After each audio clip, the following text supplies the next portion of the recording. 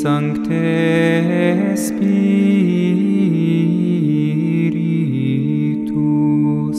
repletuorum corda